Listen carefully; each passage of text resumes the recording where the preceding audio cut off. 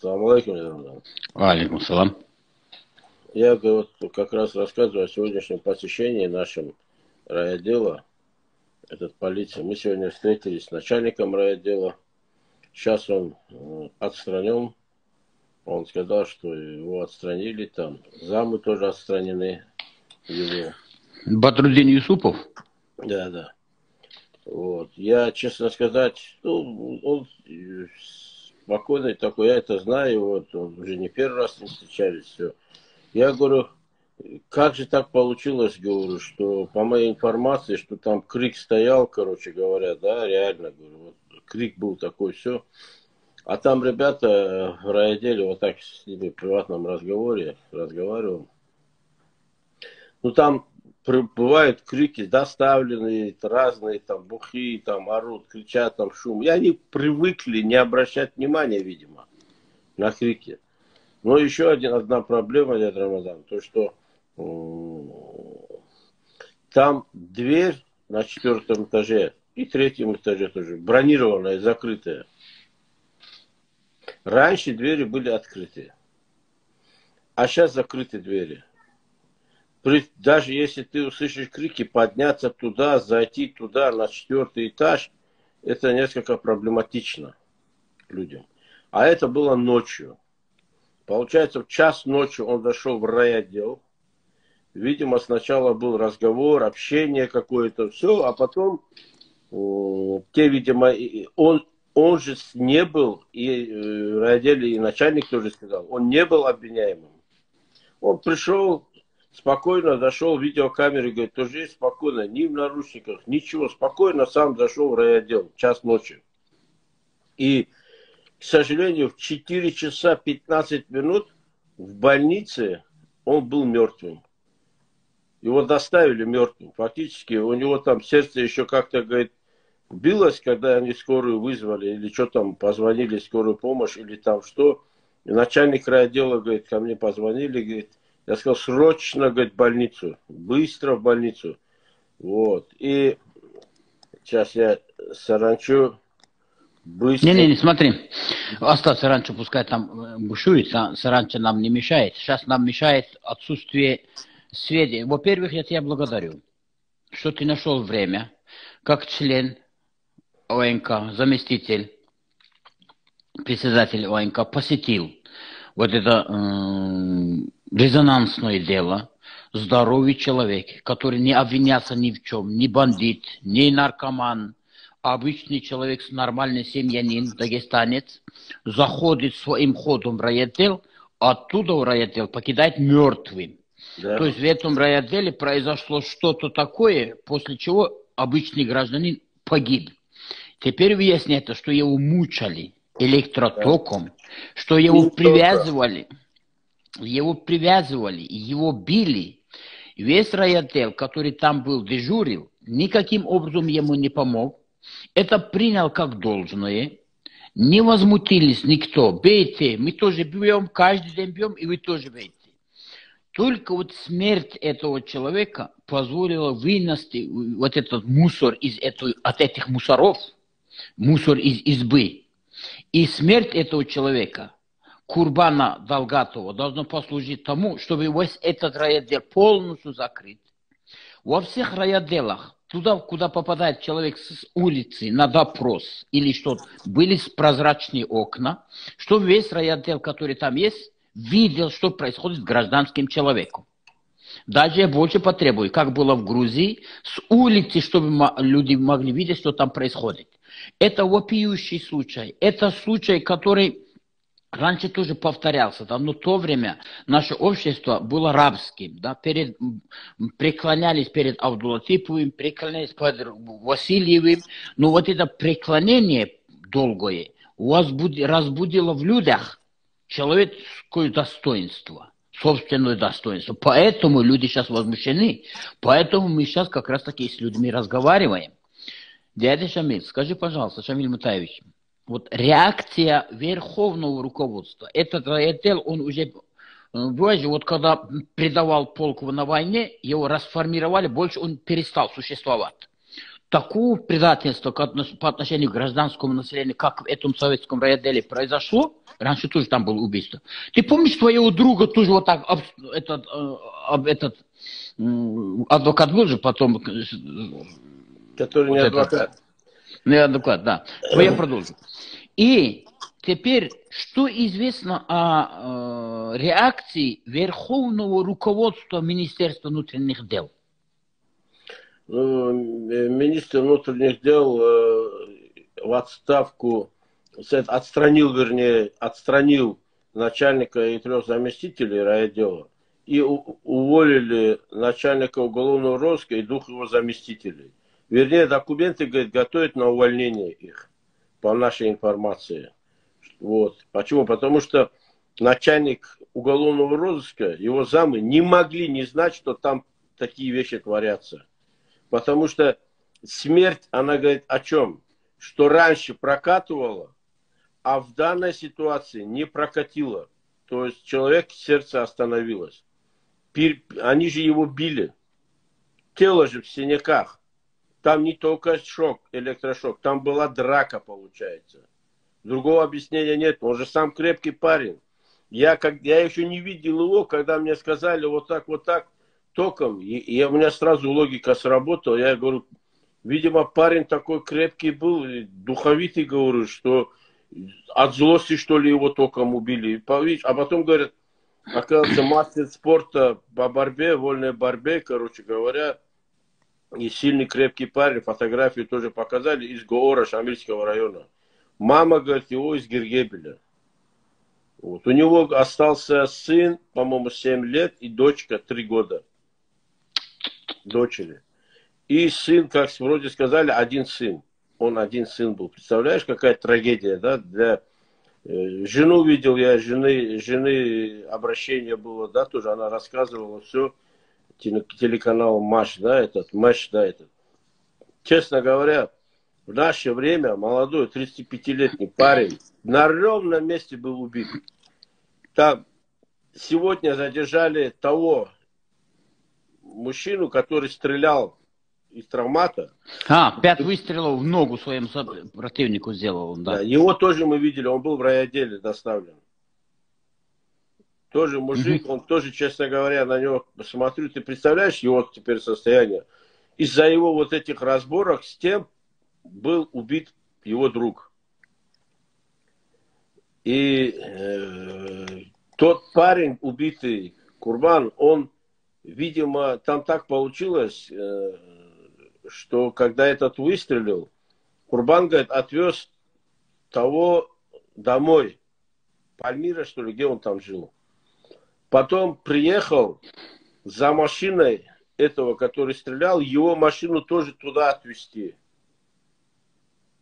И потом его там нашли, и он приехал, сам зашел в райотдел, и как вроде бы, как он сказал, если даже знал бы, где он находился, тоже не сказал бы, говорит, да. И тем более, если вы, тем более знают, кто был тот виновный, да, который стрелял. Зачем этого бить, пытать? Зачем? Что он? Ну, в розыск объявите. Какие проблемы? Что, свет клином сошелся, что ли? Такое ЧП, что ли, там, я не знаю, мирового масштаба придет, куда денется, все, тот показания дал, что в меня стрелял такой-то человек. Они друзья были, знакомые были по поселку, все, друг друга знали все трое. Ну зачем надо было этого человека мучить, пытать, бить? Это, Смотри, это идиотизм. Как ты думаешь, вот эти опера, почему на это решились? Три человека на одного. Почему? Они чувствовали за собой, начальник все равно их защитит или они это часто делали, что для них было это привычным делом? Вот твои мысли, как ты же не один раз в райотделах был и в тюрьмах был, вот э, сравнивая, делая логически, если так подумать, что сподвигло этих ребят на, на эти преступления, преступные действия в отношении гражданина? Это я же говорю, у них это, видимо, было поставлено работа вот так. Человек, если был убит, током, да, там. Значит, до этого они много раз так делали, просто у него сердце не выдержало, переборщили с ним. Я более чем уверен, эти случаи были не один там. Более чем уверен. Не один такой случай, они, у них проходило это. А у него сердце. Может быть, может быть, какие-то там есть тоже такое мнение, там разговаривали с этим.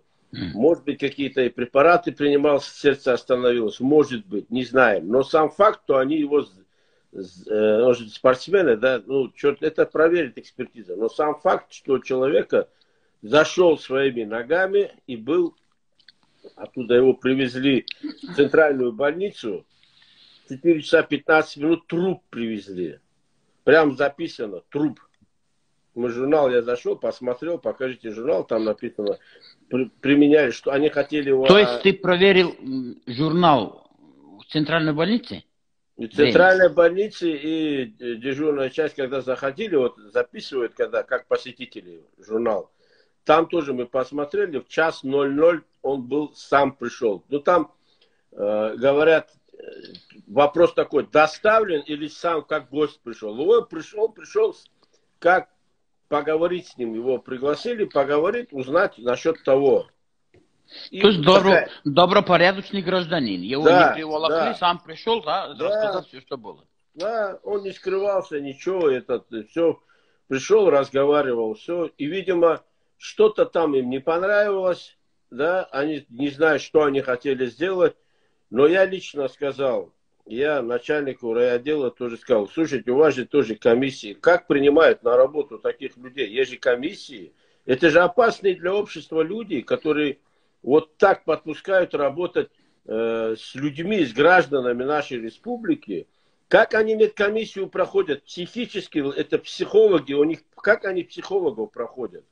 Это ненормальные люди, которые вот таким зверствуют, э, Э, с людьми, которые, тем более он свидетель, он свидетель, он не, не, не, не преступник, не подозреваемый, он свидетель. Как можно было взять человека, свидетеля, запытать до смерти? Ну, не говорит он, например, где находится тот человек. Ну, не говорит, не говорит. Возьми, возьми этот э, объявить его в розыск, да куда он денется? Показания-то на него уже даны. Да, согласен. Согласен. Скажи, пожалуйста, это случай более серьезный, чем тот Америки, вот, э, бандита, который хотел сбежать с места преступления, полицейский поймал, помнишь, Black No Matter, вот это возникло да, да. движение по всей Америке, он бандит, наркоман, много раз кидал людей. Его поймали, когда его заворачивали, он умер там под Задуш... задушили, задушили, да? задушили, да. Этот случай страшнее. Или же мирный человек пришел в райотдел, как мирный. надежда. Да. Что страшнее, наш случай или американский? Наш случай страшнее. Потому что это невиновный, это свидетель. А тот виновный был. То есть тот был незаконно послушный гражданин, да, творил там там, фальшивые деньги. Что он там творил, там, наркоман, кто он там был? А это-то нет.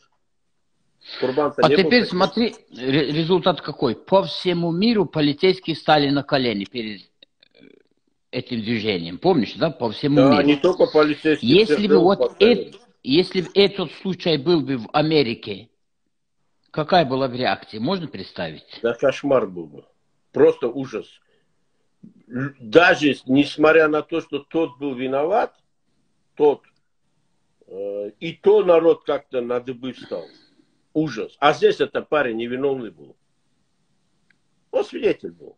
Сегодня, вот я же говорю, я, мы видели этого, который был виновный, который стрелял, он был там на третьем этаже, у следователя пришел он на допрос. Я считаю, что это дело на начальника райотдела не может остановиться. Это сугубо сама система настолько сгнила, что вся система должна рухнуть. А этот райотдел полностью закрыт, вообще забит окна полностью, чтобы туда больше никто никогда не заходил. Снести его, сделать там сквер или парк, потому что там тоже как раз очень узкое место, да, она мешает. из-за их машин эту улицу закрыли, там проезд запрещен, и столько неудобств для махачкалинцев, еще убивать начали они. Поэтому я считаю, этот райотдел полностью снести, разровнять, посадить там клумбу памяти Курбана Долгатова. Пускай все родственники этого человека, все махачкалинцы на этом будут настаивать, ну, пускай нас поддерживают, наши предложения. Этот райотдел больше не должен существовать в этом месте, и ни один больше милиционер не должен там работать. И больше того, на этом не должно останавливаться. Это нас, для нашего гражданского общества, для Дагестана, это большой урок. Смерть невинного человека, семьянина, дагестанца, которого просто запытали, убили, убили те, которые существуют на наши деньги налогоплательщика, должны нас охранять, нас убивают. Поэтому навеки, чтобы запомнил, что больше такой случай не повторился никогда в нашей истории, не только в Дагестане. И Россия, российское министерство тоже должно на это отреагировать. Если этого не будем, мы будем сидеть здесь каждый день напоминать. Больше того, Шамиль Мутавич, я вас прошу, проверить, вот эти три человека, на самом деле арестованы они или нет, сидят в СИЗО или нет, и какая, какая работа с ними ведется. Потому что я знаю, если эти люди могли убить, то обманывать тем более смогут. Э, я тебе скажу, мы хотели пойти в СИЗО, ИВС, ИВС убедиться зайти, но сказали, что им будет избрана мера пресечения в суде они. Поэтому мы туда не пошли. Мы завтра пойдем в ИВС, посмотрим на этих ребят. А одному 33 года, другому 30, другому 28. Молодые ребята. Молодые ребята. Я не знаю, как они с этим будут жить. Я не знаю, как, как я не, вот их не родные близкие, им как глаза, они своим родным близким будут смотреть, потому что они удар нанесли родным и близким своим не, тоже сильный удар нанесли, несмотря уже уберем все другое. Потому что представь себе, да, каково отцу матери знать, что их не сын убийца. Да елки зеленые, елки зеленые, семья, жена, я тоже видел его супругу, елки, как она, она говорит... Девочка какая, да, девочка, как папу обнимает, да, это фотография. Как она говорит, Блин, она какой говорит, позор. только с его рук кушала, говорит. Только всего ругает, кушала, папу ждала. Девочки же пап любят. Представляешь, она уже своего отца больше не увидит. Представляешь, да, вот, вот что они натворили? Ну, эту тему сейчас дагестанцам я, наверное, обращусь, уважаемые дагестанцы. Вы сами видите, что благодаря общественникам эта тема разрослась и стала доступным достоянием общества. На нас сейчас могут быть оказано давление, нас тоже могут арестовать. Эти люди чувствуют безнаказанность. Если они убивать могут, для них арестовать и то же самое с нами сделать тоже никакой проблем не составляет. Поэтому следите за нашими выступлениями. Если долго не выходим там и то, то, что мы сейчас сделали для вас, для общества, вы тоже должны быть соучастниками для очищения нашего общества. И такие вещи, которые делают, придают огласке такие события, вы должны нас защитить, потому что другой защиты, кроме народа, они нас, те люди, которые должны защитить правоохранительная система, право не охраняют, они убивают. И единственным нашим надежным защитником остается народ. Ты знаешь, я тебе скажу, дядя Рамазан, сами сотрудники полиции в шоке. Что произошло, как произошло. Они сами потеряны. Я, честно говоря, с ними разговаривал. Они... Сам начальник райотдела понять. Я говорю, вот как вот с этими мозгами, как они здесь работали? Вот как так получилось, что они работают здесь? Эти люди вот так убивают не, людей. Не, дядя Шамиль, Шамиль, Мута, Шамиль Мутаевич. Я тебе еще скажу, я тебе еще скажу, конечно. Э, у людей мнение, что там их могут покрыть и так далее. Ребята, никакого отношения к расследованию ни министр внутренних дел, ни его замы не имеют. Расследует Следственный комитет Российской Федерации по Республике Дагестан, управление центральное. Они забрали эти материалы себе. Нам сказали, те рассматривают. Там же никакой вмешать, там сразу пришли ОСБшники, камеры, все, все, все, все, сразу все, фиксация, все есть, он спокойно, да, все есть, во сколько, все. Теперь Нет, дядя Семен, смотри. Не денутся. Не денутся, денутся. Знаешь почему? Mm. Потому что эти хабары, сегодня они сказали, эти сотрудники, завтра забудут. Завтра они опять их служебные обязанности, опять надо взятки давать, опять надо исполнять поручения. Если бы они вытащили свое удостоверение и сказали, я больше в этой организации не хочу участвовать, если бы они отказались, они категорически отвернулись от этого события, ни один из них не покинул место своей работы, ни один человек не, не, не, не вспомнил предыдущие события, ни один человек не поклялся, что с своей стороны больше такого не будет, я готов, буду и так далее. Это хабары, там их не, это мало для нас значит. Мы общество, на этом, вот смотри, что тут раз произошло. Я тебе пример приведу. Убили Гас, братьев Гасан Гусейновых. Да. Мы знаем убийцу? Нет. Не знаем. Мы знаем, что убили безвинных ребят, пастухов. Да. Мы все дагестанцы это знают. И если да. дагестанцы народ знает, и другие тоже знают. И в этом случае эти сотрудники, хоть кто-нибудь из них сказал, что неправильно расследуется, что убийца не найден там, или э, убийца не нака... э, что будут наказаны. Ничего не один... да. Расследует также Следственный комитет расследовал, да. и ничего не расследовал. Вот этот же Следственный комитет сейчас будет расследовать этих ребят тоже. И когда мы Нет. Здесь, здесь убийцы установлены, дядя Рамазан, убийцы установлены. Их не надо искать. Они задержаны, они находятся в ИВС. А те, не знают кто. Как бы не Дядя, знаю. Хотя уверен, Дядя какие есть сотрудники? Есть сотрудники, которые заплатили за место или поступили по протекции. Просто так правоохранительную систему обычных людей очень тяжело проникнуть туда. Все люди, которые поступили по двум путям. Или брали взятки, таких каждого, никого не спроси, я столько дал, я столько дал на медкомиссию. Да, да, тариф все знали. Или же генерал, отец э, просунул своего сына. И теперь ты думаешь, те, которые просунули их, они не будут их защищать? Точно так же, как братья делают Гассан Гусейн, их не делают, тоже не сделают. Конечно, Подождут. будут пытаться что-нибудь сделать так, но там статья от 8 до 15. Нет, нам же, э, мы, честно говоря, не за то, чтобы наказать найти и на этом остановиться. Нет.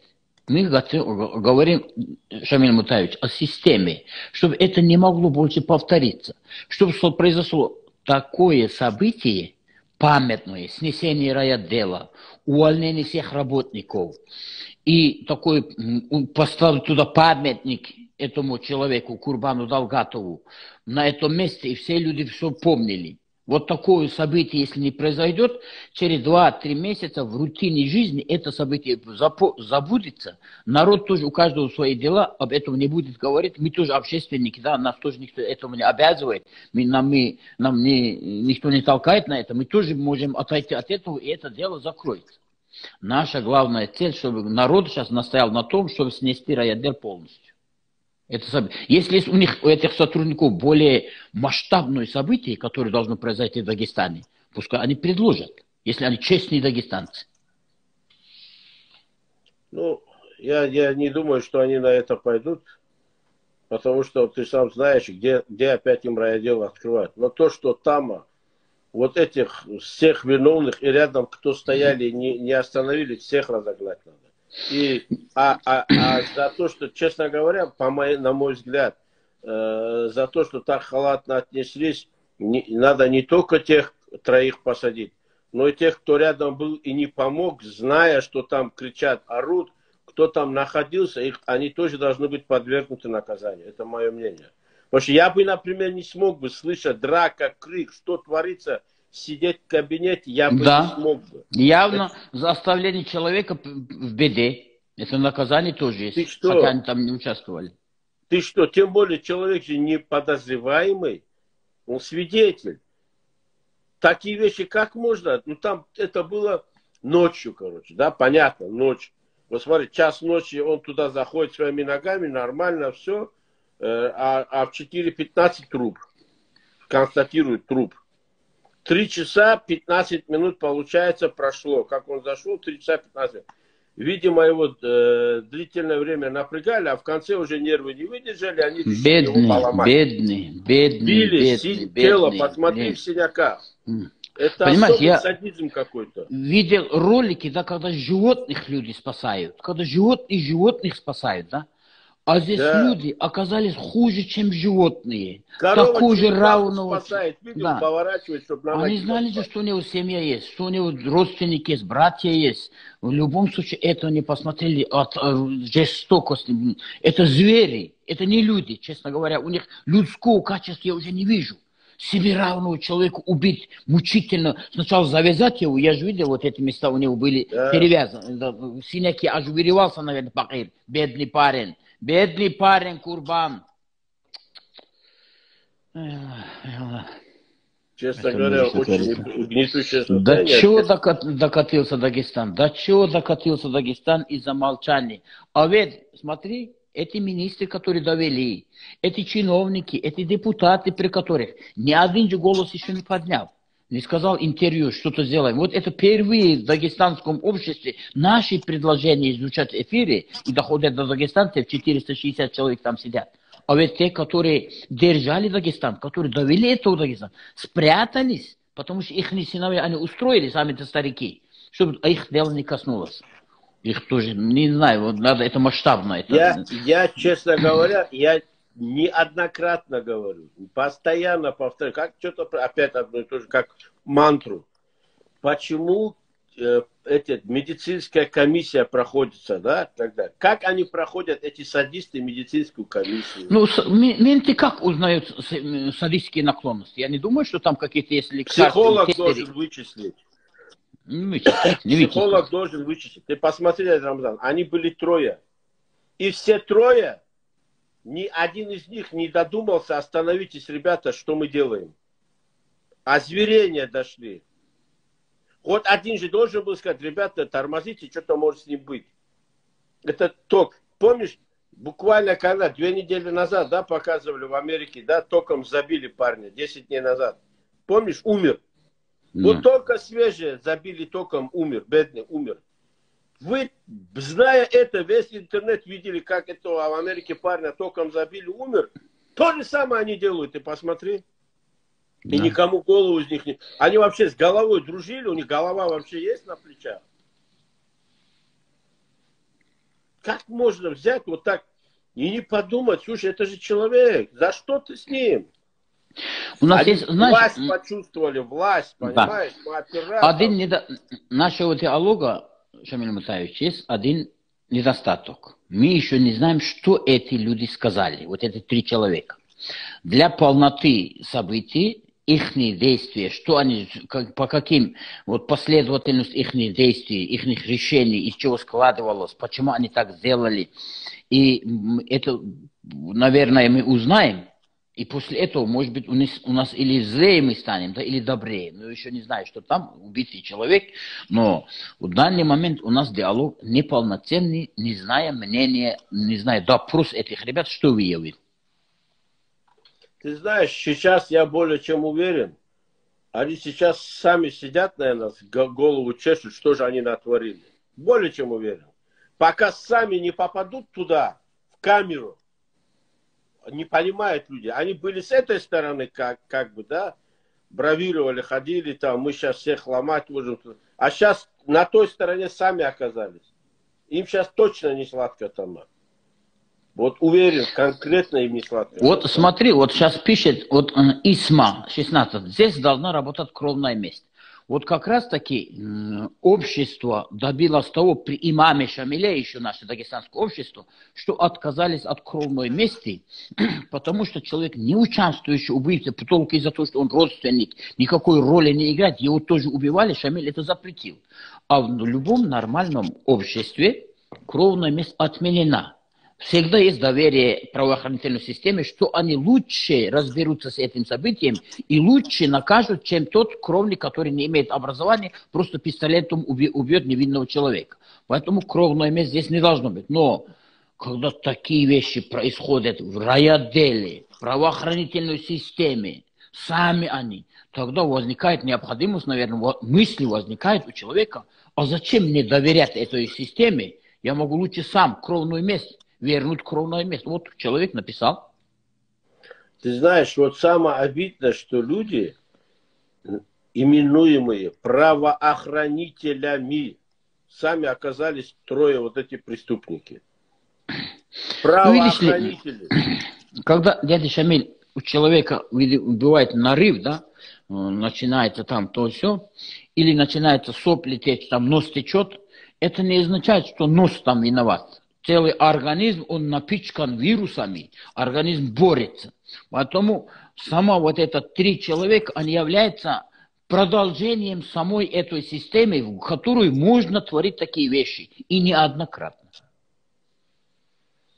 Ну, сейчас, мне кажется, надо аттестацию им всем там как минимум пройти в райотделе. Всех.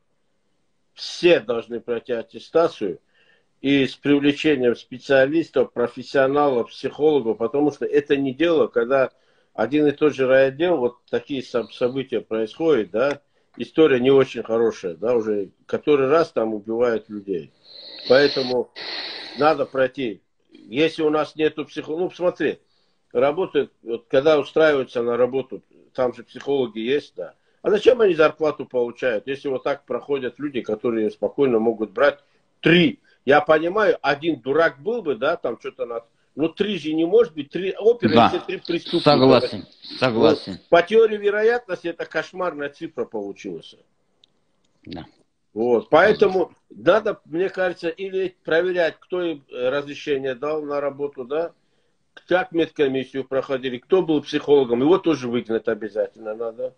Все Нет, надо... дядя Шамиль, дядя Шамиль, одну психолога, вот это ключевых постах людей поменять и других поставить, а сама система сохраняется гниль. Потом они тоже превратятся в таких же, наподобие тех, которые э, раньше были. Поэтому Всех а, проверять здесь, надо. Да, не то, что проверять, а сама система. Вот смотри, во время, когда были большие преступности, когда народ был, не было камер, когда не было телефонов, тогда было 25 тысяч полицейских в, России, в Дагестане. Теперь процентно осталось только 30% от той системы, от того количества преступлений. Даже Дагестан признали самой э, беспреступности республики. Вот эти наркоманы, которые продают эти таблетки, остались, а преступление исчезло. Но количество милиционеров сохранилось на прежнем уровне. Им чем-то хочется заняться. Долгие дни эти операции сидели без дела, наконец-то почувствовали свое применение и убили человека. Точно так же прокуроры, которых очень много, Точно так же вот эта система, которая была увеличена для компенсации большой преступности. Преступность спала, а система осталась. Почему? Потому что эту систему впихнули детей, родственников, зятей этих э, ментов, и она обратно сократиться не может.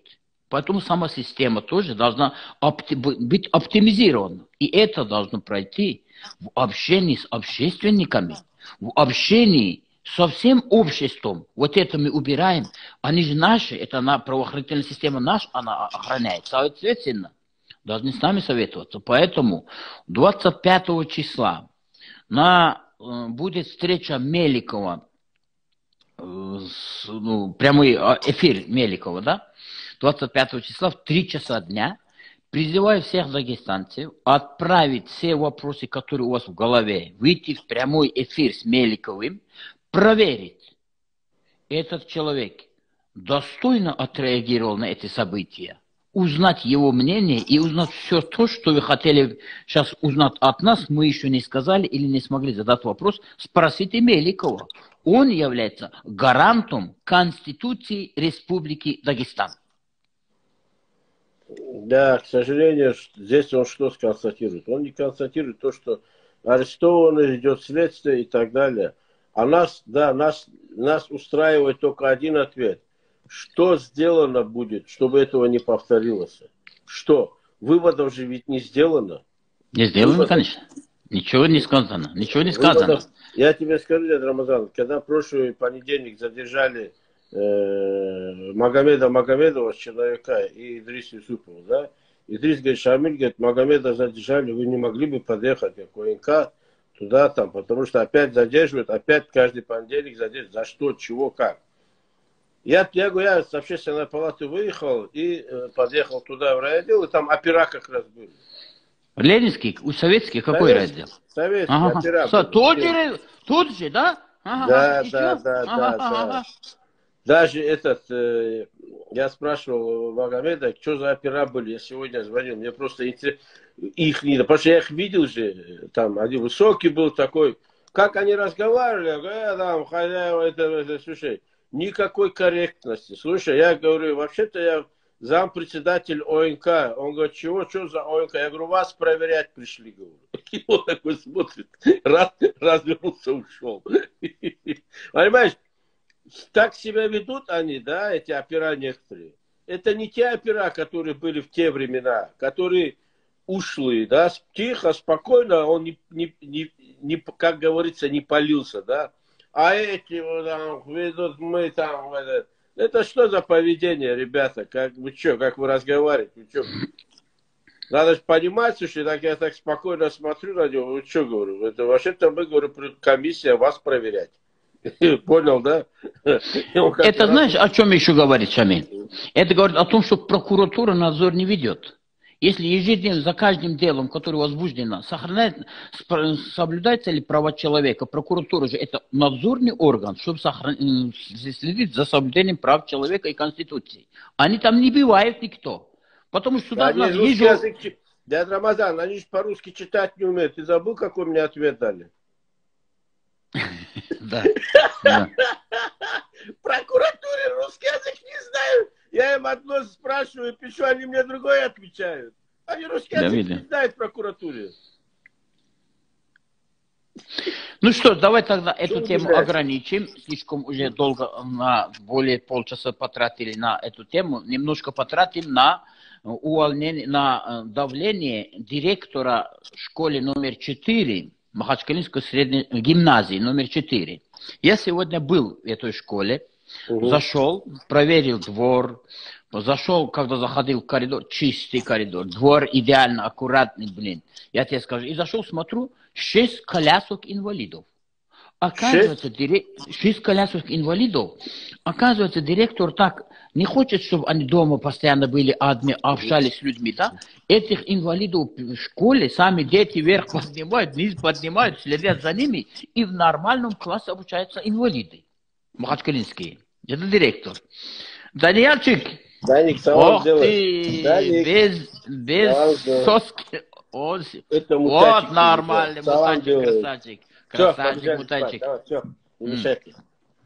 Давайте. И я зашел в Идем эту спать. школу, выяснилось, спать, Мутай. Быстро. Бегом. Да, я Рамазан. ну, я по- чуть позже продолжу да, свою мысль. А э, с начальником образования, управления образования ты разговаривал с Маратом Ибрагимовым? Да, разговаривал с Маратом Ибрагимовым сегодня. Виделись, мы с ним встретились, так получилось. И э, я тебе скажу так, из разговора с ним я понял, что там все... При мне позвонил ему Энрик Селимович, э, министр по национальной политике.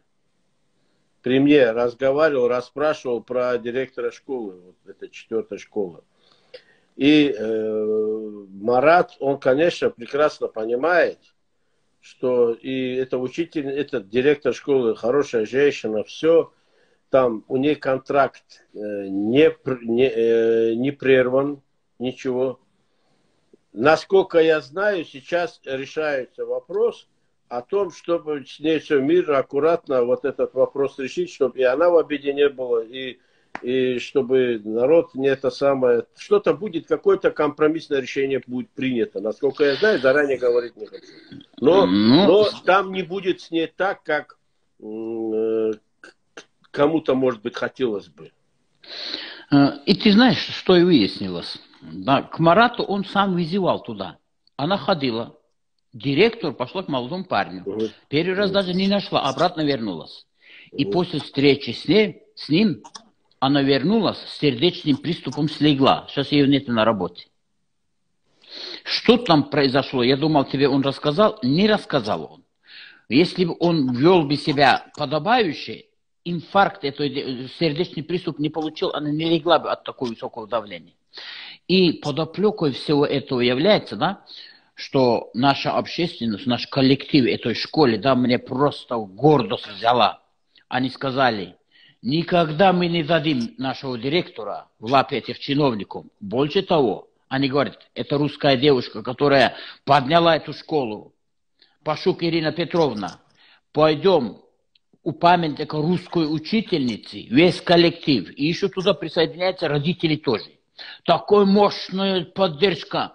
Я даже говорю этим девушкам, я говорю, скажите, этим работницам, я говорю, скажите ей, она должна от удовольствия вылечиться, потому что такую поддержку коллектива и такую поддержку от родителей получить не каждый учитель в Дагестане Директор этого заслужен. Да, не каждый директор в школе в Дагестане этого добьется вот так. Никого не прося. Да. Она тихо хотела это подчиниться этому, думала, никто ее не поддержит. Они говорят, обратимся к Сергею Сергеевичу Кравцову, министру просвещения Российской Федерации, именно от памятника русской учительницы в Махачкале, которая находится. Вы это будет говорю, жесткий троллинг. Я тебе говорю то, что произошло. И что самое интересное, Шамиль Мутаевич, оказывается, причина какая всего этого. Сидели два чиновника, и что-то разговор прошел. Одна жена одного говорит, слушай, говорит, я не хочу быть дворянкой домашней. Я хочу быть владычицей школы большого коллектива. И этот чиновник номер говорит, 4 будешь, города Махачкалы. Будешь ты директором школы номер 4. Все работает учитель, там хорошая школа, плохая школа. Чиновник обещал своей жене. Вот это вот еще более еще обидно да, для Дагестана. Вот это причина. И этот высокий чиновник, высокий чиновник по одному звонку закрутил вот это, чтобы убрали, освободили ячейку для его жены. Ну, мы посмотрим, как это получится. Мы посмотрим. Но информация такая есть, что там ряд э, директоров школ хотят сменить там, и, и, и не совсем э, и не совсем прозрачно это делается, и в чьих-то интересах тоже. Я знаю это. Да. Это тоже выяснил. Больше того, что здесь выяснил Шамиль Мутаевич, что меня еще гордо, директора других школ республики, которые знают, кто такая Ирина Петровна, у них же семинары, олимпиады, они общаются на августовских конференциях, выступают, они знают значение этой женщины. Они сказали, оказывается, вместе с ней уйдем мы тоже, если не добьемся справедливости. Не только этот коллектив четвертой школе, не только Махачкалы, другие тоже. Это еще раз говорит о том, что у нас национализм, национализм уже ушел все нации, нету там русские, что в русского поддержали, что она русская. Да. да, вот поддержали дагестанцы. Это вели, вот еще раз говорит о том, что чиновник в Дагестане перестал быть богом. А скоро мы добьемся, что таким чиновникам не то, что руку не подавали, пинок под зад на каждую свадьбу давали, их не выгоняли оттуда за такие поступки к этому мы добьемся. Наверное, это, слава Богу, что наше общество, мы бы даже вот это Шамиль не могли бы разговаривать с людьми, сколько, 450-500 человек здесь собирается, к ним мы, с ними вот на эту тему не могли бы разговаривать, э, если бы общество не готово было принять такую информацию и поддержать. Она созрела. Это большой перелом. И чиновники должны понять, будьте осторожны, ребята. Вы испортите карьеру не только себе, и своим детям тоже. Будьте осторожны. Внимательно, тише, воды ниже травы. То, что вы не творили, уже достаточно того, чтобы весь ваш тухом обчистить и вернуть на государство все, что вы украли. Это будет. Ведите себя нормально, чиновники. Ты знаешь, Рамазан, тот же самый чиновник, например, Энрик Селимович Мусимов, он э, позвонил по поводу этой директора школы. Тоже. Чиновник чиновнику рознь. Кому-то хочется места, а кому-то, а кто-то отстаивает права директора школы. Надо, чтобы все вот так отстаивали права. Не только директоров школы, да, но директора школы и учителя должны тоже сами чувствовать поддержку у народа. Чтобы они, вот сейчас ты сам знаешь, да, какой есть негатив в отношении учителей там, и так далее, связано с выборами и так далее, и так далее. Но эти люди должны понимать, что мы сейчас не должны дробиться. Мы должны быть монолитом. Мы друг другу должны помогать. Вот, может быть, сейчас осознание какое-то тоже. Хотя в четвертой школе я никогда не слышал проблем, претензий. В четвертой школе. Манат, я тебе говорю, так коллектив держит, а так детей держит. Каждого ребенка по, имя, по, по имени знает, каждого родителя она знает. Я говорю, вот, боже, педагог от Бога. Пашук, Ирина Петровна, педагог от Бога. Это признают и родители. И посмотри на моей странице, вот я э, несколько слов о ней сказал, как люди зашли туда и пишут, какие комментарии эти люди. Угу. Честно говоря, обо мне вряд ли столько... Обо мне тоже, да. Когда у меня директор школы отобрал два часа физики, село не пустило детей в школу, пока Рамазан не вер... Рамазану не вернут эти два часа физики, хотя большую роль не играл. Они хотели, чтобы их детям преподавал я. Тогда еще были такие зачатки. Но сегодня такого педагога, да, я тут там еще молодой был, такого педагога, такой наезд осуществить, этот чиновник вообще берега попутал ради своей жены, все это, пошатать всю э, образовательную систему республики. Я тебе говорю, это вообще невероятный случай в истории Дагестана. Ну, здесь по поводу Марата Ибрагимова, что я могу сказать? Э, э, не Марат принимает решение, не Марат. Поэтому сейчас я как бы, я помню, я даже тебе тогда позавчера в эфире сказал, когда эту тему обсуждали, там надо узнать, и мне не, не Марат принимает решение, а те, кто принимает решение, они должны понимать. И Марату я тоже сказал, Марат, это пожилая и достойная учительница. Э, дядя Рамазана, сын учился в этой школе. Он знает, что говорит. Я говорю, никаких плохой информации об этой школе никогда не было учительница русская. Она порядок там держит.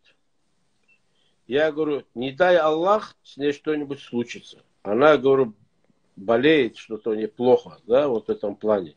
Не дай Аллах. Я говорю, смотри, Марат, говорю, предельно осторожнее надо быть с ней. Ни в коем случае она не должна пострадать. Ни в коем случае. Он говорит, конечно, я это все знаю, говорит, Шамиль. Но решение принимает не Марат. Кроме это... того, вот для Марата наши пожелания, да, мы уже как Аксакали разговариваем, Марат, у тебя политическая карьера на небосклоне Дагестана может быть, имеет большое продолжение. В данный момент тебя используют как инструмент для выполнения каких-то чужих задач. Ты хотят теряешь на это, хотят тебя использовать. Случилось, и от тебя пришла работа, э, руководитель школы и с сердечным приступом расстроенная. Ты должен пойти к ней домой или там каким бы образом извиниться и восстановить те отношения, реабилитировать себя, потому что через тебя, не, начальником мы имя даже не произносим, ни его жену не произносим, ни министра Бучаева Яхью не произносим, ничего, абсолютно. Мы о тебе сейчас говорим, потому что через тебя случилась вот эта трагедия с этой женщиной. Иди к ней, поговори.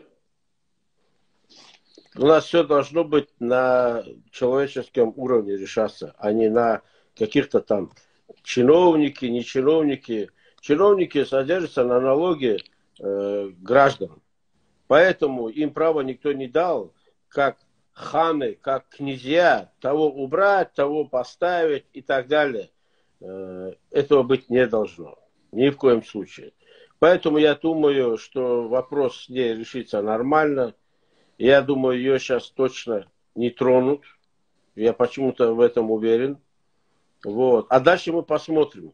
Дальше мы посмотрим. Но вот эта практика, когда освобождают место под кого-то, она должна быть прекращена. Если человек не справляется с работой, если плохие показатели там, и так далее, и так далее, вопросов нет. Да, согласен. Вопросов нет. Мы поддержим, наоборот, скажем, если человек не на своем месте.